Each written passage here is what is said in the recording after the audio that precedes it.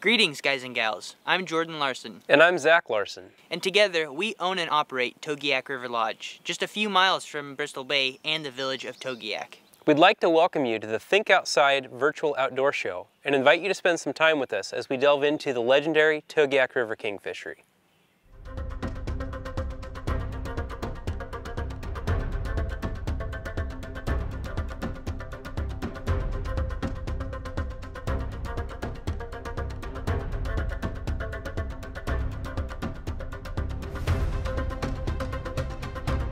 Our kingfishery on the Togiak usually takes off between the 15th to the 21st of June and is generally winding down by the 26th of July.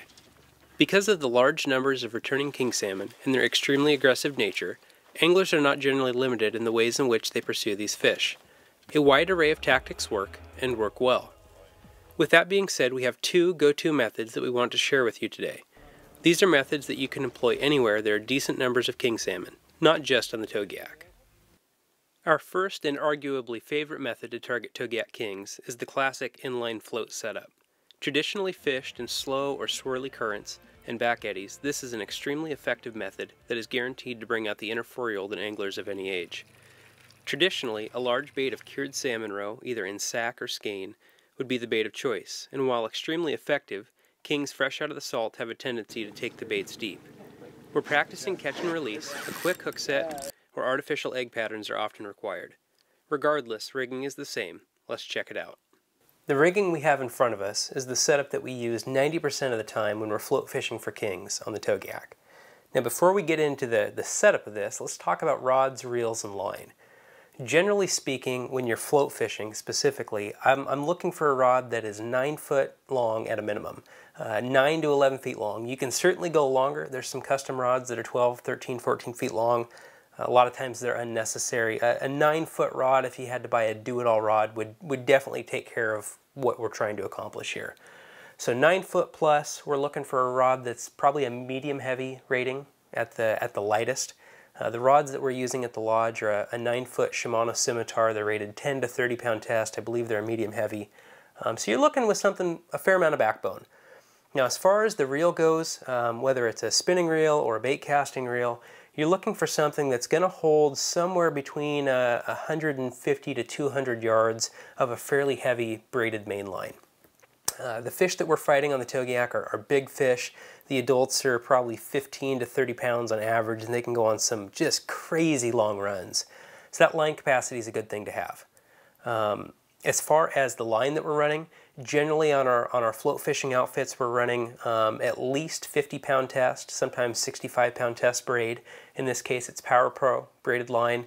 Um, any of the, the major manufacturers of braided line are, are good enough though. I wouldn't get too hung up on brand. Um, as far as the actual rigging goes, we start with a thread bobber stop tied onto the main line. Now this is going to control your depth.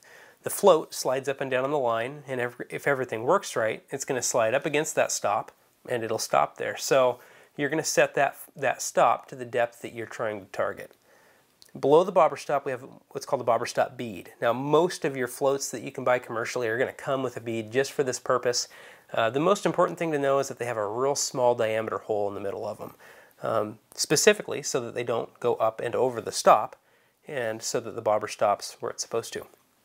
Um, below the, the bead, obviously, is the float. In this case, it's a one ounce arrow float for 99% of the king fishing that we do in the Togiak, you can use a one ounce float. It's kind of the, the, the universal go-to up there. Um, but that doesn't mean that it's going to be the universal go-to for you. Generally what I like to tell people is use the smallest float that you can that will allow you to get your presentation to where the fish are at.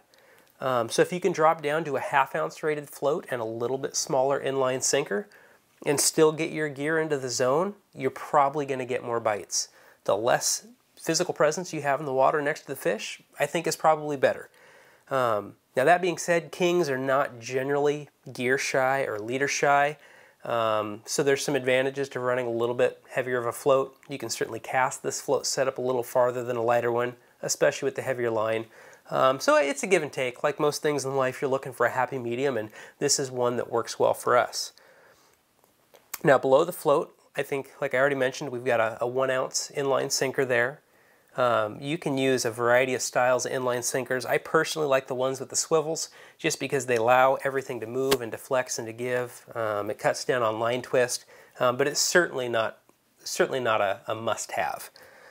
Um, below the inline sinker, we go to our leader. Now this leader is substantially shorter than what a lot of folks will run. Uh, we're blessed by extremely aggressive fish on the Togiak, and a lot of times you can get away with a real short leader like that. Um, that leader is probably probably in the, the range of 15 to 18 inches long. Um, and that would be the shortest that we would run. It's real common to run a leader up to two, two and a half, maybe even three feet long. There's some individuals that like to run a longer leader, especially in clear water, and that's fine. Um, the thing to consider is that your bait will then be able to rotate however far around your weight um, as long as the leader is, right? So if you got a four foot long leader, you, your bait can be within a, an eight foot zone, um, which can be, can be a disadvantage, right? You want to keep that bait in the zone as close to the fish as is possible. Now you can see on both these leaders that I have here, both the bait setup and the bead setup, that I've got a couple split shot. Now on a, on a leader this short, you really don't need the split shot. Um, but for on a, on a longer leader, let's say you're approaching that four foot length, this becomes extremely beneficial to have as it helps to keep that bait in the zone. It helps it sink faster and it keeps it from swinging as violently if you're in real swirly or turbulent water. Um, the hook that we're running is a, a 3-aught octopus style hook. Um, I'd say 3-aught or 4-aught for most general purpose uh, king salmon fishing is all that you need. There are a lot of guys that run larger hooks, 5 or even 6-aught, and uh, they certainly catch a lot of fish. Um, I don't know that they're necessary though, and a, and a little bit smaller hook drives home a lot easier into the fish's mouth if you got somebody who just isn't able to set the hook real hard or maybe you don't catch quite up to the fish before you set the hook.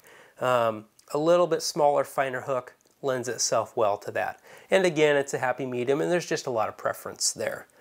Um, as far as the application of bait on this, this is the traditional setup that you would run with, with cured salmon roe whether in a bait sack or in the skein. Um, to apply that, you're just going to push the line back through the eye of the hook to give yourself a loop, just like this. You're going to take your bait, whatever it is, slide the middle of the hook, or slide the, the hook right through the middle of the bait, put your loop around the bait, and cinch it down nice and snug. You don't want to pull too tight because it'll cut the bait in half and you'll lose a lot of it. Now one thing to consider, this is a it's not the cleanest way that you've ever fished. There's going to be a lot of mess and a lot of goo all over.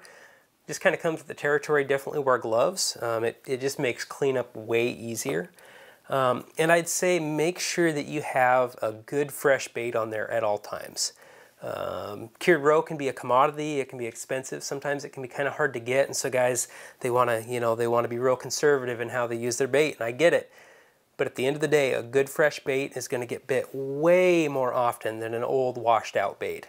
It's worth every three to five casts at least putting a little bit more bait on, if not replacing it completely. Um, moving on to the, the bead setup, uh, the primary advantage to the bead is, well, it doesn't come off very easy. You're always fishing, you've always got a presentation there. The other distinct advantage for us where we're at on the Togiak, we're real near tidewater most of the time. The fish are generally fresh, they're generally way aggressive, especially when it comes to eggs. And a lot of times they'll be deep hooked, right? If you don't if you don't swing on them as soon as that bobber goes under the water, they end up hooked into the gills. And if you're not looking to keep that fish or if you're you're out practicing catch and release, that's it's not real conducive to that. That's where the beads shine. They rarely, if ever, take the beads very deep. Um, and they bite them most days, I'd say just about as well as eggs. There's some days where the eggs definitely outshine, but for what we're doing up there, these work fantastic. Uh, the other primary advantage is that they just don't come off. If you've got uh, anglers on board who can't cast real well or just haven't practiced a whole lot, this is something they can utilize. They can mess up, they can slap the water in the front of the boat, and their bait's still good. They're still going to be fishing. Um, so really it comes down to preference. The last couple years, we've gotten to where we've run beads probably 60% of the time when we're float fishing for king, 60 to 75% of the time, because they just lend themselves well to good uh, conservation practices and they're easy to fish. Uh, this specifically is a 20 millimeter soft bead from B&R Tackle. Uh, the color on this is sweet pink cherry and we utilize a lot of these um, on the Togiak. We use a lot of the sweet pink cherry, a lot of the mottled red, um, and a lot of the clown colorations. Every system's a little bit different though, so play around with colors. Uh, the other thing is don't get scared by too, running too large of a bead. Um, this is the smallest bead that we run for kings on the Togiak. Most of the fishing that I do personally, I like to run the 25 millimeter beads. They're just, uh, they're a little more present. The fish can see them from farther away. But we'll even run the next size up, which is a 32 millimeter bead. It is giant and it looks silly, but it works well. Um, especially in place of big baits eggs. It's just way cleaner. So there's a couple different options for you guys. Uh, with all that being said, let's take a look at how we put these into use on the Togiak.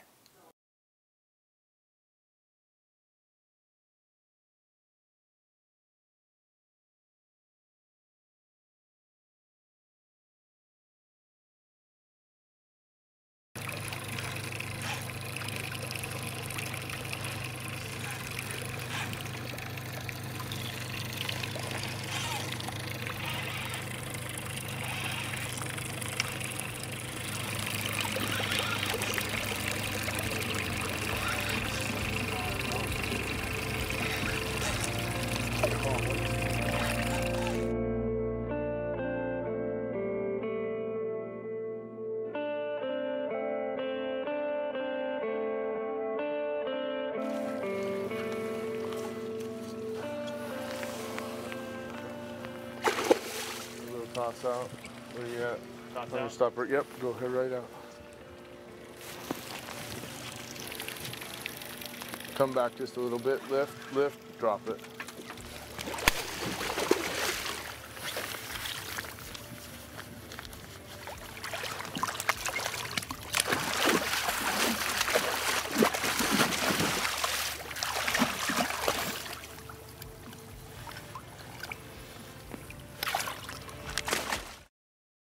The second method we will cover is the most widely utilized method for king salmon, back trolling. Specifically in this case, back trolling large salmon plugs such as the Yakima Bait Company Maglip and Hognose Flatfish, the Luhr-Jensen and Kwikfish, or the classic Worden's Lures Flatfish. Generally fished 40 to 60 feet behind the boat, these lures are backed downriver slowly through long, fishy runs. Ease of operation and very little input on behalf of the angler allow for anglers of all ages and skill sets to successfully target the largest of the king salmon. It is common for our largest fish each year to come on a back trolled plug. for sure. The second method that we'll be going over in depth today is back trolling. Specifically, back trolling large plugs like this Yakima Bait Company 5.0 mag lip. Now back trolling in its simplest form is basically just backing a presentation really slowly down the river. The idea being that the fish are downstream of the boat, maybe 40, 50, 60 feet behind the boat, and you're going to hang something in their face until they get aggravated enough to bite. Now, the primary advantage to plugs like this one is that the fish don't generally take them very deep. You can practice catch and release without really truly harming the fish. You can back troll with bait behind a diver in the same exact way. The problem though is it's a straight on shot for the fish and a lot of times they'll take it very deep. Now the rigging for these is extraordinarily simple. I've got two different options set up in front of us.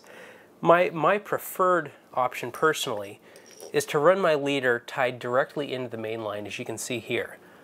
Now the main line in this case is a 65 pound test braid um, to a 50 pound test leader. We generally run fairly heavy leader on the Togiak. It aids in releasing large numbers of smaller fish at the boat without netting them. Generally speaking, in Washington, Oregon, California, I, I would say probably start somewhere with 20 to 25 pound test leader material, depending on where you're at. Again, clear water, as we talked about before with the float setups, you're going to want to run a little bit lighter leader. Murky water, you can run a bit heavier leader. Generally speaking, king salmon and, and king salmon specifically that are fresh in out of the salt water are not leader shy at all. I know guys that run 80 pound braid directly to their plugs and they catch fish all day long. For me, I'm a little bit more confident having a leader and it's easier to grab at the boat to release fish as well. It doesn't cut you quite as bad. Um, so that's the first rigging. This is the, a line-to-line connection. Um, in this case, it's an RP knot, but a double uni knot or an Albright knot um, or an FG knot, those are all viable options. Uh, for the sake of time, we're not going to go over how to tie those here. Um, you can find a, a, whole host of videos online that go over those in depth, um, all of which are pretty easy to tie. The other rigging that we have is a more conventional setup with a chain swivel in between the leader and the main line. Um, in this case, it's a four chain swivel. Um, and the reason for doing this, the primary advantage, is that in rivers um, that have a lot of vegetative debris um, coming downstream, the, the weeds and the grass can get hung up on the plug and they'll affect the action. If you have something just as simple as a chain swivel, uh, four or five feet up from the plug, it'll catch most of that debris before it can get tangled around the plug and, and, and adversely affect the action. now as far as plugs go, like I mentioned, this is a, a 5-inch mag lip from Yakima Bait Company, and as you can tell, it's caught a couple fish. This one's pretty hammered. Um, other viable options are the, uh, the hognose flatfish, also from Yakima Bait Company. You've got the, the classic Worden's Lures flatfish, again, now owned by Yakima Bait Company. Um, and then you've got the Luhr Jensen Kwikfish series of plugs, which are very similar. Um, all of those plugs catch fish. I wouldn't overthink picking one or the other. Uh, we've run a lot of these maglips and a lot of the, the hognose flatfish because they're very versatile and they'll pull in really slow water and they'll pull in really heavy water. The quick fish and the old school flatfish are a little more sensitive to current flow. If you get too much current, they just, it overworks them and they don't pull the right way. You can pull these maglips in some water that is just ripping fast and they're just versatile. That's why we use them. Um, and they work well. As far as the hook setup goes, whether you're running a, an old school flatfish or a Jensen Kwikfish or one of the newer maglips or hognose from Yakima Bait Company, I like to rig the hooks on them in the same way regardless of the plug. You can see here that I've removed the belly hook, but I've left the split ring on. Um, I feel that a little bit of extra weight in the middle of the plug helps keep that plug balanced and it helps it in heavier water the more the more weight you remove from the center of the plug, the, the more radical it's going to get, the more the more radical its action is going to be. And, and that can be good, that can be advantageous. The problem though is that at a certain point it spins out and it just doesn't work the right way. Um, the other advantage of having that split ring on there is it's just a little more weight, it helps it get down just a little bit more. You can run them with or without. There's a lot of guys that take the split rings off, they catch a ton of fish. This is just something that has worked for me personally. As far as the hook on the back goes, you can see that I've got a split ring to a barrel swivel, then to a single Siwash hook. Now there's a number of varieties of single Siwash hooks that will work here. Um, in this case, this is just a standard J-bend open eye Siwash from Gamakatsu. This is a 3-aught hook.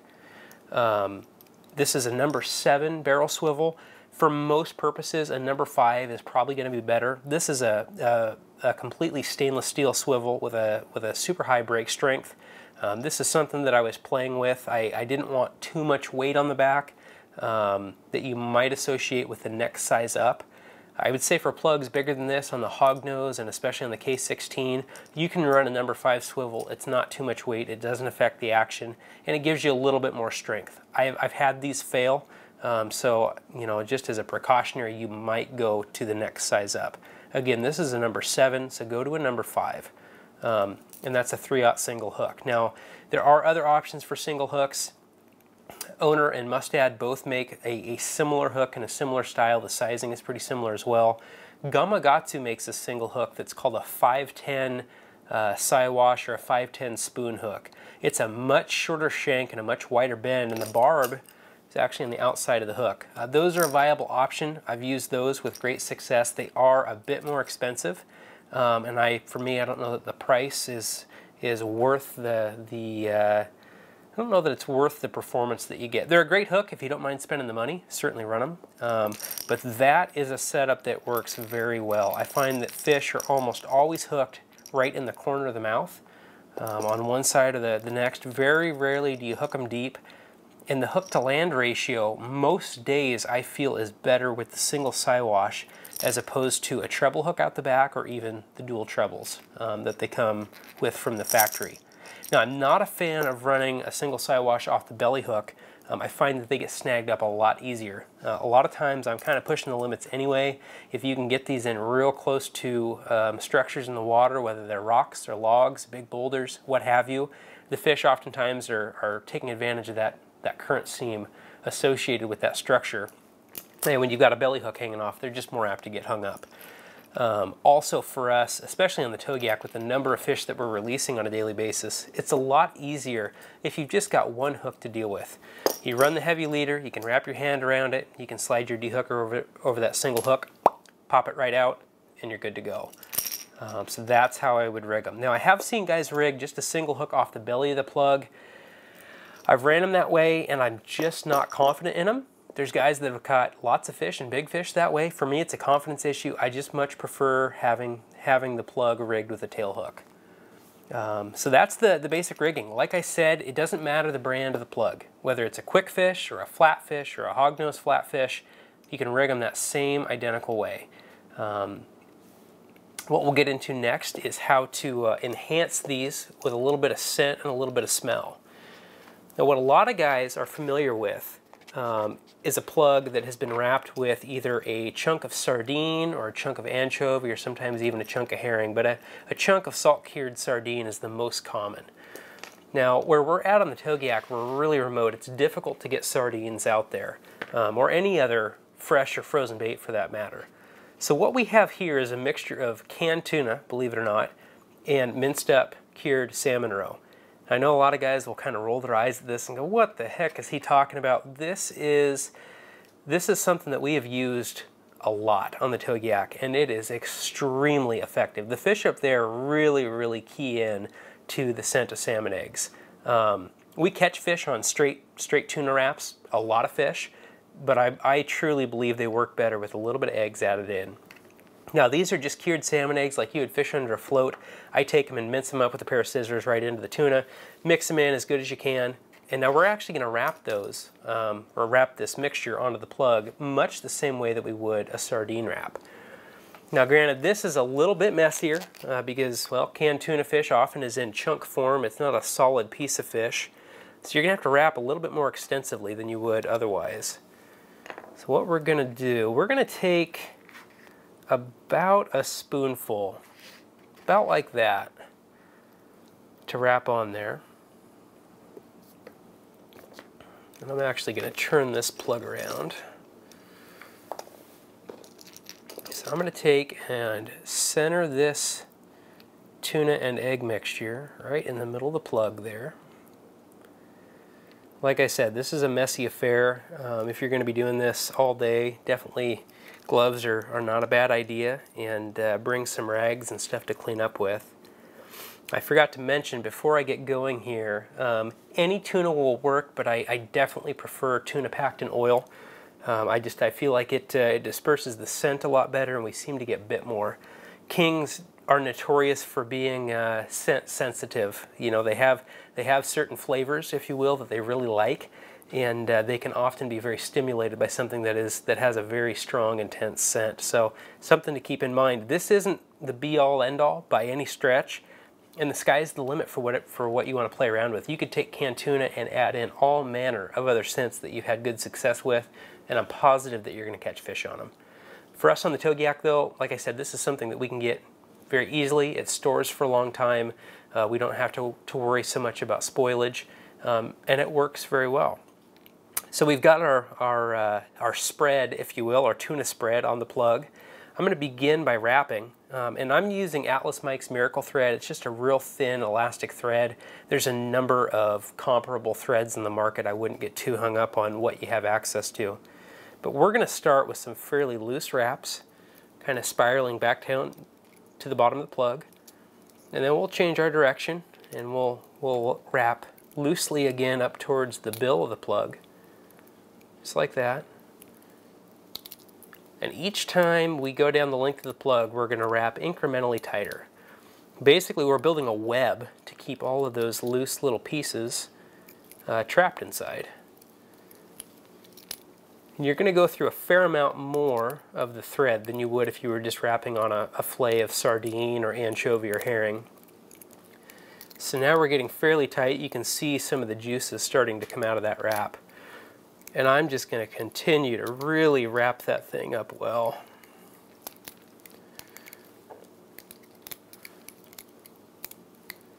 Get to the bottom, we're going to go once more up to the top. Come back to the middle. Now you'll see guys finish these wraps in any number of ways. For me, I'll stick my index and my middle finger out on my left hand.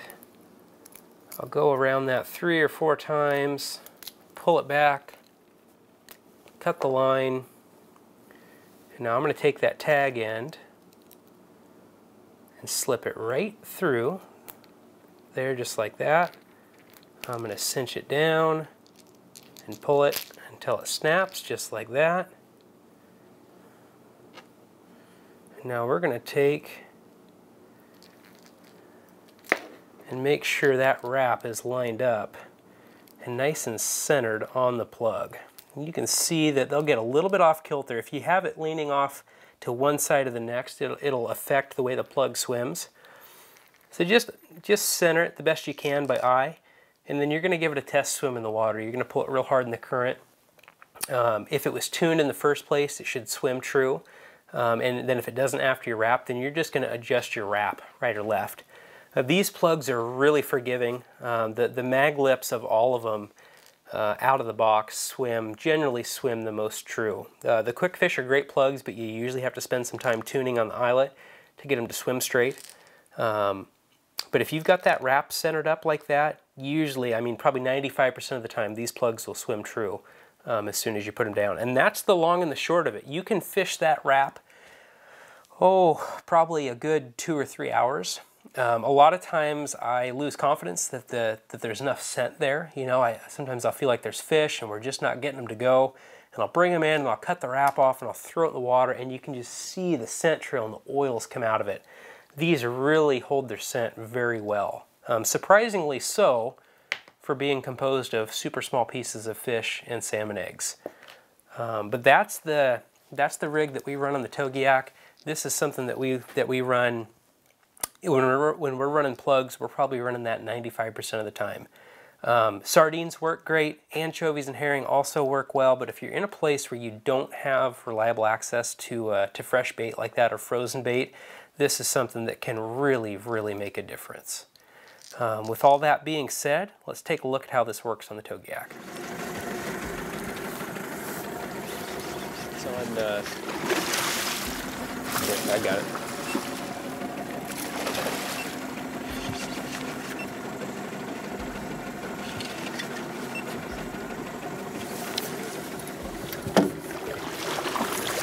That's a keeper, or do you want to go for something bigger? How big do you think that is, 20? I think he's right about that 20 pound mark, yeah. Good fish, not the biggest fish we've seen, but I mean, be a good eating fish. Do What you want do you think, Dad?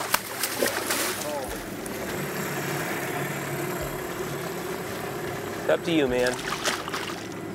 What do you think? Yeah, we'll let him go. Let him go? Okay. Still early in the day. It is, very much so.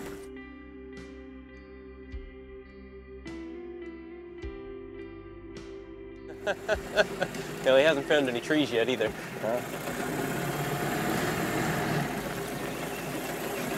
Coming right in here. Yeah. Bigger than yours, Tyler? I can't see yet. It's about the same size. I think for all, all practical purposes, they're twins. Right about the same. Not fighting nearly as hard as I expected. It's not yet. No, maybe I was wrong. Great fish, though. We kicking this one back?